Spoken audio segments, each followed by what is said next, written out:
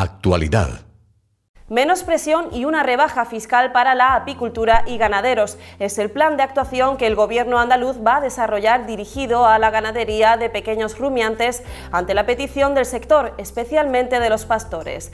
Un plan que tiene como fin anexionar los recursos económicos y actuaciones a un sector que vive con dificultades. La petición de la Junta al Estado de la reducción de módulos de IRPF para respaldar al sector agrario andaluz es del 100% para la apicultura y un 80% para diversos sectores ganaderos como el bovino, ovino y caprino de leche y carne, por el impacto de la viruela ovina y caprina y otras enfermedades.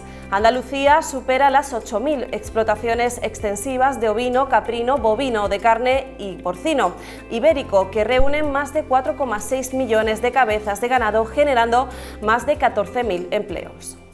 El campo andaluz necesitaba un paso adelante. Por ello, hemos sembrado millones de datos, regados con lo último en vanguardia tecnológica y cultivados con inteligencia artificial para dotar a la Andalucía agrícola de una herramienta impagable. Siembra, la nueva plataforma colectiva por inteligencia artificial de asistencia a la planificación de cultivos para su comercialización. Toda la información para acertar y cultivar siempre la solución más rentable.